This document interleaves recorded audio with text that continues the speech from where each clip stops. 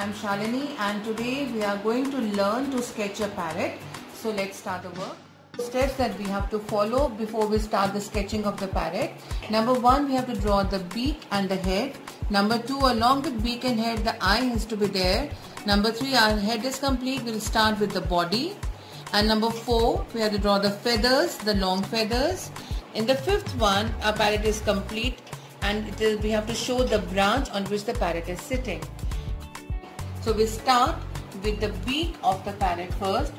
Children, I am drawing a bit darker but you please don't put pressure in your drawing as if I'll draw light, you'll not be able to see.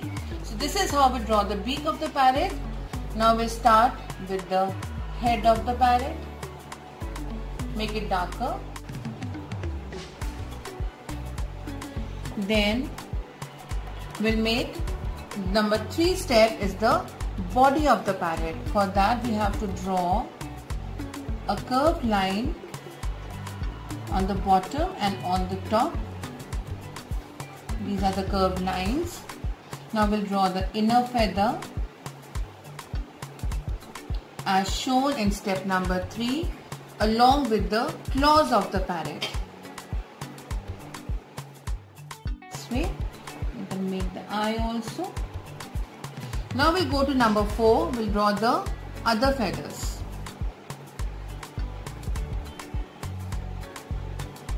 Slowly come down. Join from here also. Tail of the parrot uh, and the other one here. Alright children. Make the band in the neck this way our step number 4 is complete.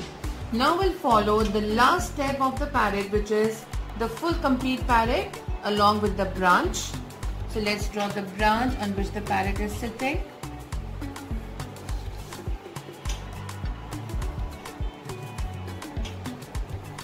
You can draw flowers and leaves afterwards when we start the coloring.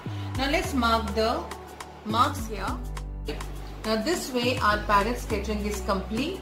You and draw exactly the way we have done here. Practice a lot and keep sketching neatly. Till that time, practice a lot and thank you so much.